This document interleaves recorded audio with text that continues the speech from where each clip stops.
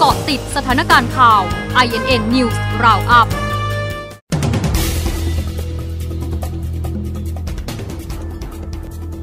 นาฬิกา4นาที สบคกังวลกรุงเทพมหานครยังมีผู้ติดเชื้อจำนวนมากรอครบ 14 วันประเมินมาตรการอีกครั้ง แนะคนมีประวัติเสี่ยงสูงกักตัวอยู่บ้าน